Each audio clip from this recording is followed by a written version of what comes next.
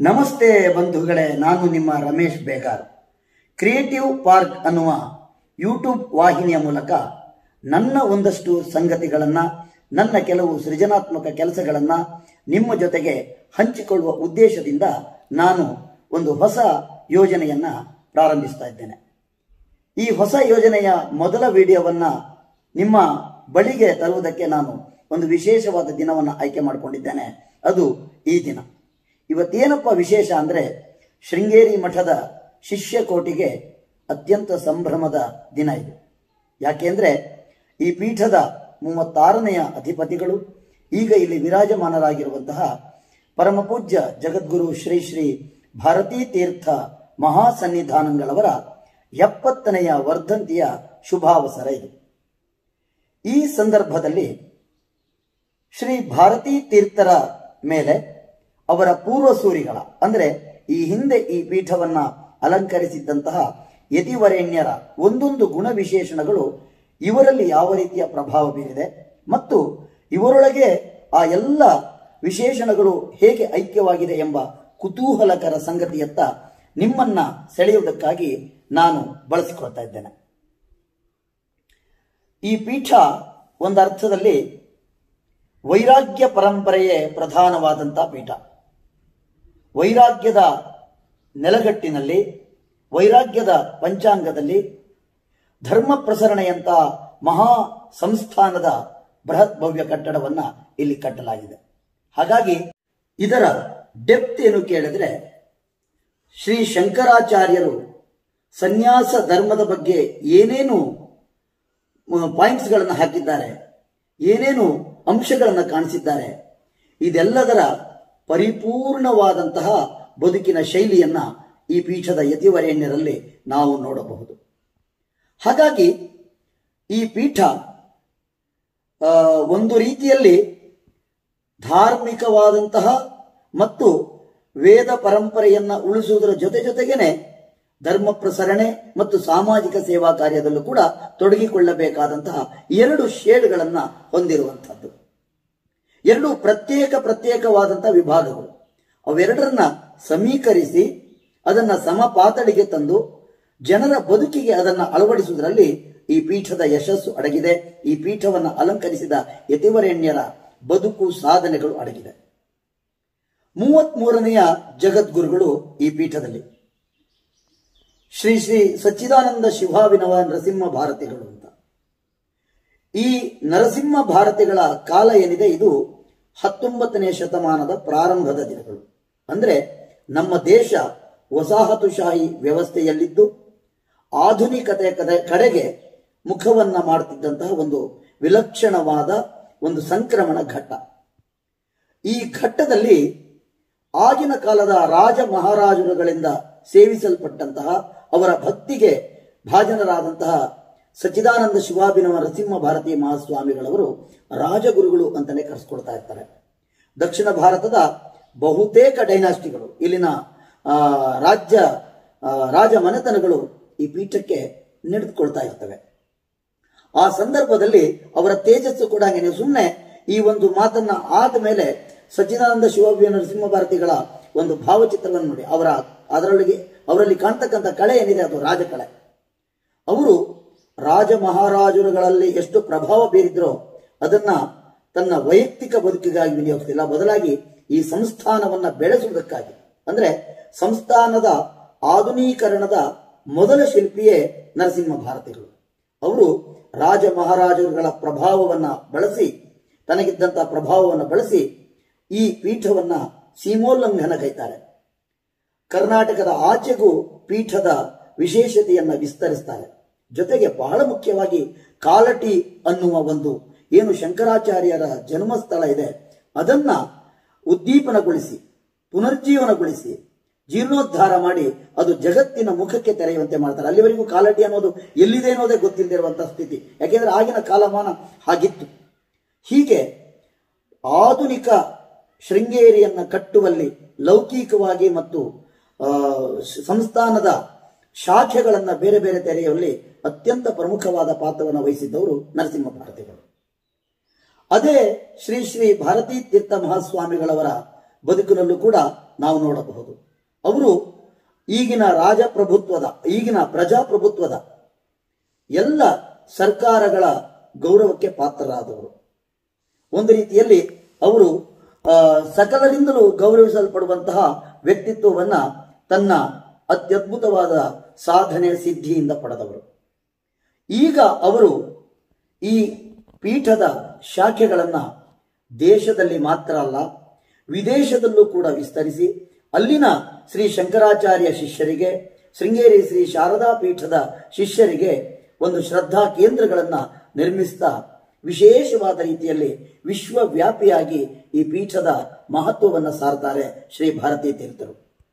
ಮಾತ್ರ ಅಲ್ಲ, ಆಧುನೀಕರಣವನ್ನ ಆಧುನೀಕರಣವನ್ನ ಹೇಗೆ ಆಧುನಿಕತೆಯನ್ನ ನಮ್ಮ ವ್ಯವಸ್ಥೆಗೆ ಅಳವಡಿಸಿಕೊಳ್ಳಬೇಕು ಅನ್ನೋದರಲ್ಲಿ ನರಸಿಂಹ ಭಾರತಿಗಳ ಮಾದರಿಯನ್ನು ಅನುಸರಿಸಿ ಅವರೊಂದು ಅದ್ವೈತ ಸಂಶೋಧನಾ ಕೇಂದ್ರವನ್ನ ತೆರೆದಿದ್ದಾರೆ.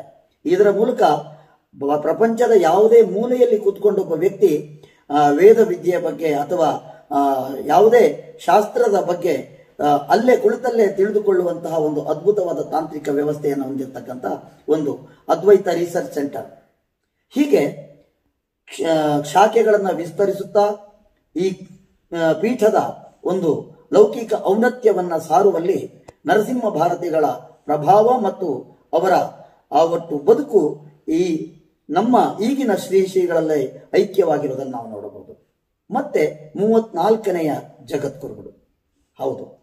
ಶೃಂಗೇರಿ ಶಾರದಾ ಪೀಠದ ಪರಂಪರೆಯಲ್ಲಿ ಅತ್ಯಂತ ವಿಶೇಷವಾದ ಭಕ್ತಿ ಗೌರವಗಳಿಂದ ನೋಡಬೇಕಾದಂತಹ ಮಹಾ ಮಹಿಮರು, ಯತಿವರಣ್ಯರು ಪರಮ ಪೂಜ್ಯ ಜಗದ್ಗುರು ಶ್ರೀ ಶ್ರೀ ಚಂದ್ರಶೇಖರ ಭಾರತಿ ಸ್ವಾಮಿಗಳವರು. ಶ್ರೀ ಚಂದ್ರಶೇಖರ ಭಾರತಿಗಳ ಬದುಕು ಮತ್ತು ಸಾಧನೆ, ನೃಸಿಂಹ ಭಾರತಿಗಳ ಸಾಧನೆಗಿಂತ ಭಿನ್ನವಾದದ್ದು. ಇಲ್ಲಿ ಲೌಕಿಕತೆಯ ಯಾವುದೇ ತರದ ಸ್ಪರ್ಶ ಇಲ್ಲ.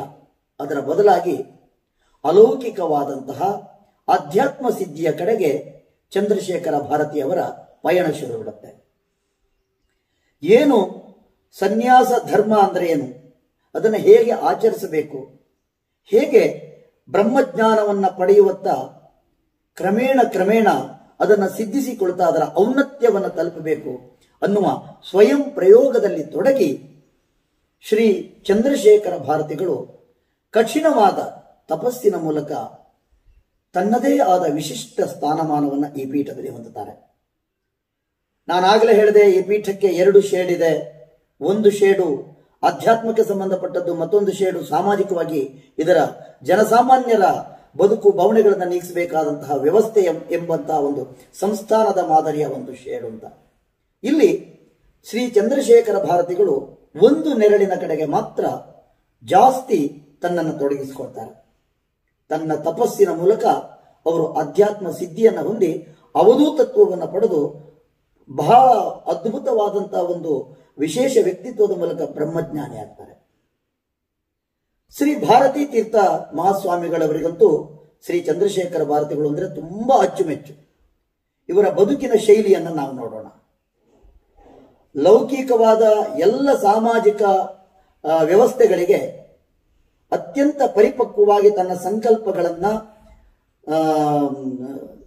ರೂಢಿಸಿಕೊಂಡು ಅದನ್ನ ಸಮರ್ಥ ಸಾರಥಿಯಾಗಿ ಅಳವಡಿಸಿಕೊಂಡು ಅದನ್ನ ವ್ಯವಸ್ಥೆಯನ್ನ ಪ್ರವರ್ಧಮಾನಕ್ಕೆ ತರುವಲ್ಲಿ ಅತ್ಯಂತ ಯೋಗ್ಯರಾದಂತಹ ಆಡಳಿತಾಧಿಕಾರಿಯನ್ನ ಶ್ರೀ ಭಾರತೀ ತೀರ್ಥ ಮಹಾಸ್ವಾಮಿಗಳವರು ಡಾಕ್ಟರ್ ವಿ ಆರ್ ಗೌರಿಶಂಕರ್ ಅವರ ಮೂಲಕ ನೇಮಿಸಿಕೊಳ್ತಾರೆ ಹಾಗಾಗಿ ತನ್ನ ಕಠಿಣವಾದ ತಪಸ್ಸು ಏನಿದೆ ಅಧ್ಯಾತ್ಮ ಸಿದ್ಧಿ ಏನಿದೆ ಮತ್ತು ಬ್ರಹ್ಮಜ್ಞಾನದೆಡೆಗಿನ ಪಯಣವನ್ನ ಶುರು ಮಾಡ್ಕೊಳ್ಳೋದಕ್ಕೆ ಅಥವಾ ಅದರ ಮೂಲಕ ಅದರಲ್ಲಿ ಮುಂದೆ ಹೋಗೋದಕ್ಕೆ ಯೋಗ್ಯವಾದಂತಹ ವಾತಾವರಣ ನಿರ್ಮಿಸಿಕೊಂಡು ಯಾವುದೇ ಒಂದು ಅನುಷ್ಠಾನ ಇರಲಿ, ಯಾವುದೇ ಧಾರ್ಮಿಕ ವಿಚಾರಗಳಿರಲಿ, ಅದರೊಳಗೆ ಅತ್ಯಂತ ತತ್ಪರವಾದ ಮತ್ತು ಇಡೀ ಪ್ರಪಂಚಕ್ಕೆ ಉತ್ತರದಾಯಿತ್ವ ಇರುವಂತಹ ಒಂದು ಸ್ಥಿತಿಯನ್ನ ಶ್ರೀ ಭಾರತೀ ತೀರ್ಥರು ಹೊಂದುತ್ತಾರೆ.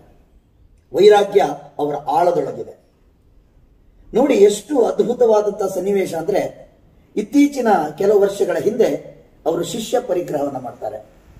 ಈ ಪೀಠದ ಮೂವತ್ತೇಳನೆಯ ಶ್ರೀ ಶ್ರೀ ವಿಧುಶೇಖರ ಭಾರತಿ ಸನ್ನಿಧಾನಗಳವರು ಶ್ರೀ ಭಾರತೀ ತೀರ್ಥರ ಶಿಷ್ಯರಾಗ್ತಾರೆ. ಶಿಷ್ಯರಾದ ನಂತರ ಒಂದಷ್ಟು ಕಾಲ ಅವರಿಗೆ ಹೇಗೆ ಈ ಪೀಠವನ್ನ ಮುನ್ನಡೆಸಬೇಕು ಎಂಬುದರ ಮಾರ್ಗದರ್ಶನ ಮಾಡಿದ ನಂತರ ನಾನಾಗಲೇ ಹೇಳಿದೆ, ರಾಜ ಮಹಾರಾಜರುಗಳ ಕಾಲದಿಂದ ನಡೆದು ಬಂದಂಥ ಪರಂಪರೆ ಶೃಂಗೇರಿ ಶಾರದಾ ಪೀಠ ಪರಂಪರೆ ಅಂತ. ಇಲ್ಲಿ ರಾಜ ಗೌರವಗಳಿದ್ದಾವೆ, ಶ್ರೀಮಠಕ್ಕೆ ಅದರದ್ದೇ ಆದ ಚಿಹ್ನೆಗಳಿದ್ದಾವೆ, ಬಿರುದು ಬಾವಲುಗಳಿದ್ದಾವೆ, ಛತ್ರಿ ಚಾಮರಗಳಿದ್ದಾವೆ. ಈ ಎಲ್ಲ ಸಕಲ ಮರ್ಯಾದೆಗಳನ್ನು, ಈ ಎಲ್ಲ ಸಕಲ ಗೌರವಗಳನ್ನು ಶ್ರೀ ಭಾರತೀ ತೀರ್ಥರು ತನ್ನ ಶಿಷ್ಯರ ಕಡೆಗೆ ಅದನ್ನ ತಿರುಗಿಸ್ತಾರೆ. ಅಂದ್ರೆ ಈ ಎಲ್ಲ ಗೌರವಗಳು ಕೂಡ ಶಿಷ್ಯರಿಗೆ ಸಲ್ಲಬೇಕು ಅನ್ನುವ ಒಂದು ನಿರ್ಧಾರವನ್ನು ತೆಗೆದುಕೊಂಡು ತಾನು ಧರಿಸುತ್ತಿದ್ದ ಉಡುಗೆಯಲ್ಲೂ ಕೂಡ ಆ ಕಾವಿಯಲ್ಲಿ ಒಂದು ಜರತಾರಿಯ ಹಂಚಿರ್ತಾ ಇತ್ತು ಅದನ್ನು ನಿರಾಕರಿಸಿ ಸಹಜವಾದ ನಾರುಮಡಿಯನ್ನ ತೊಡುತ್ತಾ ಈ ಎಲ್ಲ ಇಹದ ಎಲ್ಲ ಲೌಕಿಕ ವ್ಯಾಪಾರಗಳಿಂದ ಆಚೆಗೆ ತನ್ನದೇ ಆದ ಒಂದು ಅದ್ಭುತವಾದ ಆಧ್ಯಾತ್ಮಿಕ ಜಗತ್ತನ್ನ ಹೊಕ್ಕು ಅದರೊಳಗೆ ಬ್ರಹ್ಮಜ್ಞಾನದ ಸಿದ್ಧಿಯ ಕಡೆಗೆ ತನ್ನ ಪರಿಕ್ರಮಣವನ್ನು ಶುರುವಿಟ್ಟಿದ್ದಾರೆ ಶ್ರೀ ಭಾರತೀ ತೀರ್ಥರು. ಹೀಗೆ ಶ್ರೀ ಚಂದ್ರಶೇಖರ ಭಾರತಿಗಳ ಗಾಢ ಪ್ರಭಾವ ಅವರಲ್ಲಾಗುತ್ತೆ. ಇನ್ನು ಶ್ರೀ ಭಾರತೀ ತೀರ್ಥರ ನೇರವಾದ ಗುರುಗಳು, ಅಂದರೆ ಈ ಪೀಠದ ಮೂವತ್ತೈದನೆಯ ಅಧಿಪತಿಗಳಾಗಿದ್ದ ಪರಮಪೂಜ್ಯ ಶ್ರೀಮದ್ ಅಭಿನವ ವಿದ್ಯಾತೀರ್ಥ ಮಹಾಸ್ವಾಮಿಗಳವರು. ವಿದ್ಯಾತೀರ್ಥ ಮಹಾಸ್ವಾಮಿಗಳವರು ಅಂದರೆ ಕರುಣೆ, ಸೌಹಾರ್ದ ಜನರ ಸಮಸ್ಯೆಗಳನ್ನ ನಗುಮುಖದಲ್ಲಿ ಆಲಿಸಿ ಅದಕ್ಕೆ ಪರಿಹಾರ ನೀಡತಕ್ಕಂತಹ ಒಂದು ವಿಶೇಷವಾದ ಗುಣ. ಜೊತೆಗೆ ಸಾಮಾಜಿಕವಾಗಿ ಹತ್ತು ಹಲವು ಸೇವಾ ಕಾರ್ಯಗಳನ್ನ ನಡೆಸಬೇಕಾದಂತಹ ಒಂದು ವಿಶೇಷವಾದ ದೃಷ್ಟಿಕೋನ ಇಂಥವುಗಳನ್ನ ಅವರಲ್ಲಿ ನಾವು ಕಾಣಬಹುದು. ಎಷ್ಟೋ ಆಸ್ಪತ್ರೆಗಳನ್ನು ಅವರು ನಿರ್ಮಿಸಿದ್ದಾರೆ. ಜೊತೆಗೆ ಏನು ಶಂಕರಾಚಾರ್ಯರ ಅದ್ವೈತ ತತ್ವದ ಪ್ರಸರಣಕ್ಕಾಗಿ ಹತ್ತು ಹಲವು ಸಂಸ್ಥೆಗಳನ್ನು ಸ್ಥಾಪಿಸಿ ಸ್ಥಾಪಿಸಿ ಸಾಂಘಿಕವಾಗಿ ಇಡೀ ದೇಶದಲ್ಲಿ ಶೃಂಗೇರಿ ಮಠದ ಶಿಷ್ಯರು ಅಂದರೆ ಒಂದು ಬೈಂಡಿಂಗ್ ಆಗುವಂತಹ ಒಂದು ವಿಶೇಷವಾದ ವ್ಯವಸ್ಥೆಯನ್ನು ನಿರ್ಮಾಣ ಮಾಡ್ತಾರೆ ಶ್ರೀ ವಿದ್ಯಾತೀರ್ಥರು. ವಿದ್ಯಾತೀರ್ಥರು ಮಾಡಿ ಬಿಟ್ಟಂತಹ ಆ ಕೆಲಸ ಕಾರ್ಯಗಳನ್ನು ಭಾರತೀ ತೀರ್ಥರು ಹೇಗೆ ಮುಂದುವರಿಸ್ತಾರೆ ಅಂದರೆ ದೇಶವ್ಯಾಪಿಯಾಗಿದ್ದಂತಹ ಈ ಬೈಂಡಿಂಗ್ ವ್ಯವಸ್ಥೆ ವಿಶ್ವವ್ಯಾಪಿಯಾಗ್ತದೆ ಹಾಗೂ ಪಂಡಿತರನ್ನ ಮತ್ತು ಸಂಸ್ಕೃತವನ್ನ ಶಾಸ್ತ್ರ ಕೋವಿದರನ್ನ ಬೆಳೆಸುವಲ್ಲಿ ಏನು ವಿದ್ಯಾತೀರ್ಥರ ಯೋಜನೆಗಳಿದ್ದವು, ಅದಕ್ಕೂ ಮೀರಿದಂತಹ ಯೋಜನೆಗಳನ್ನ ರೂಪಿಸಿಕೊಳ್ಳುವುದರ ಮೂಲಕ ತನ್ನ ಗುರುವಿಗೆ ಯೋಗ್ಯವಾದಂತಹ ಪ್ರತಿವಂದನೆಯನ್ನ ಶ್ರೀ ಭಾರತೀ ತೀರ್ಥರು ಸಲ್ಲಿಸ್ತಾ ಇದ್ದಾರೆ. ದೇಶದಾದ್ಯಂತ ಹಲವಾರು ಆಸ್ಪತ್ರೆಗಳಿವೆ, ದೇಶದಾದ್ಯಂತ ಹಲವಾರು ವೈಜ್ಞಾನಿಕ ಸಂಶೋಧನಾ ಕೇಂದ್ರಗಳಿವೆ, ಹಾಗೂ ಈ ದೇಶ ಸಂಕಷ್ಟಕ್ಕೆ ಸಿಕ್ಕಿದಾಗಲೆಲ್ಲ ಬೃಹತ್ ಪ್ರಮಾಣದಲ್ಲಿ ತನ್ನ ಉಪಕಾರವನ್ನ ಮತ್ತು ಸಹಕಾರವನ್ನ ನೀಡುತ್ತಾ ಬಂದಿರುವುದು ಶಾರದಾ ಪೀಠ, ಭಾರತೀ ತೀರ್ಥರ ಕಾಲದಲ್ಲಿ. ಇದಕ್ಕೆ ಅತ್ಯಂತ ಪ್ರೇರಣೆ ಅವರಿಗೆ ಶ್ರೀಮದ್ ಅಭಿನವ ವಿದ್ಯಾತೀರ್ಥರು. ಹೀಗೆ ಪೂರ್ವ ಸೂರಿಗಳಾದಂತಹ ಮೂವರು ಜಗದ್ಗುರುಗಳ ಗುಣವಿಶೇಷಗಳನ್ನ ಒಬ್ಬರೇ ಹೊಂದಿ ನಮ್ಮ ನಡುವೆ ಇರತಕ್ಕಂಥದ್ದು ನಮ್ಮ ಬದುಕಿನ ಸಾರ್ಥಕ್ಯವನ್ನ ಖಂಡಿತವಾಗಿಯೂ ಹೆಚ್ಚಿದೆ ಅಂತ ಹೇಳಿದ್ರೆ ಯಾವುದೇ ಕಾರಣಕ್ಕೂ ಅದು ಅತಿಶಯೋಕ್ತಿ ಅಲ್ಲ. ಹಾಗಾಗಿ ಇಂತಹ ಮಹಾಮಹಿಮರಾದಂತಹ ಶ್ರೀ ಭಾರತೀ ತೀರ್ಥರ ಹತ್ತು ಹಲವಾರು ಕುತೂಹಲ ಭರಿತ ಜೀವನ ಚರಿತ್ರೆಯ ಕಥಾನಕಗಳು ನನ್ನ ಹತ್ರ ಇದೆ. ಶ್ರೀ ಚಂದ್ರಶೇಖರ ಭಾರತಿಗಳ ಹತ್ತು ಹಲವು ವಿಶೇಷತೆಗಳು ನನ್ನ ಒಂದು ಸಂಗ್ರಹದಲ್ಲಿದೆ. ಮುಂದಿನ ದಿನಗಳಲ್ಲಿ ನೀವೆಲ್ಲ ಅಪೇಕ್ಷೆ ಪಟ್ಟರೆ ಇವುಗಳನ್ನು ಮತ್ತೆ ಮತ್ತೆ ವಿಶಿಷ್ಟವಾದ ರೀತಿಯಲ್ಲಿ ಪ್ರೆಸೆಂಟ್ ಮಾಡುವಂತಹ ಉದ್ದೇಶವನ್ನು ಹೊಂದಿ ಎಪ್ಪತ್ತನೇ ವರ್ಧಂತಿಯ ಸಂದರ್ಭ ಶ್ರೀ ಜಗದ್ಗುರು ಮಹಾಸ್ವಾಮಿಗಳವರ ಆಶೀರ್ವಾದವನ್ನು ಬೇಡ್ತಾ ಈ ವಿಡಿಯೋವನ್ನು ಮುಗಿಸ್ತಾ ಇದ್ದೇನೆ. ನಮಸ್ಕಾರ.